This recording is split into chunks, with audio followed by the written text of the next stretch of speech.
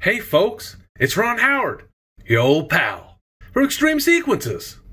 And I thought I'd share kind of how I like to test models. Certainly these high density models from Gilbert Engineering requires a little special attention.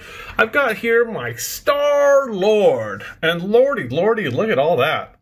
So what I like to do is just create an animation, and um, usually when I'm testing, I'm just going to put an on effect and just kind of go down the list. I'll click the arrow down just to make sure all those turn on. But then once I know everything's turning on, I want to test the chases.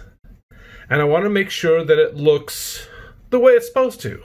So what I'm going to do is I'm going to turn on the magic light.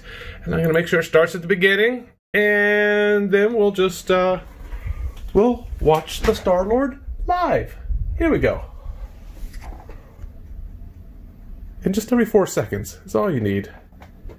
There's our diamonds. Ooh, some feathers. Yes, spokes. And you want to make sure it's going the right direction as you would see on the screen. And these are.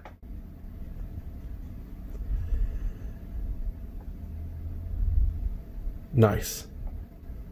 Plungers. Baby plungers. Ooh, cool. Z's. Star. And the cross.